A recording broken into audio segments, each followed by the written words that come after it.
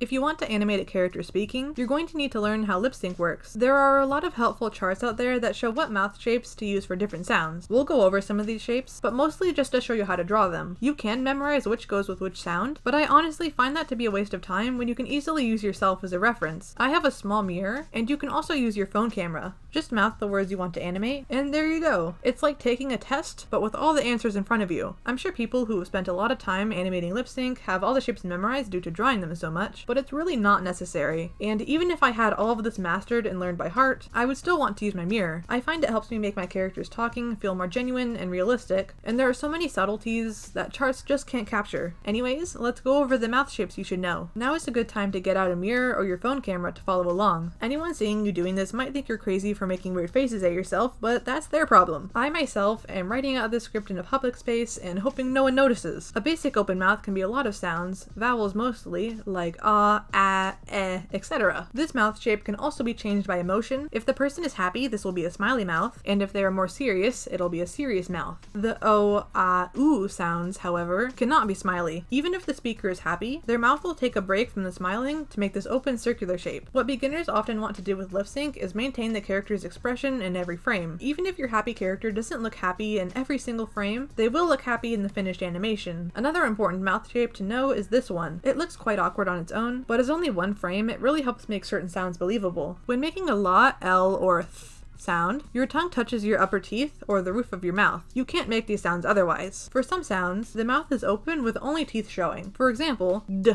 and j. Similarly, the ch sound is just teeth, but more puckered going forward than stretching out to the sides of the face. For a or m sound, the upper teeth will touch the lower lip.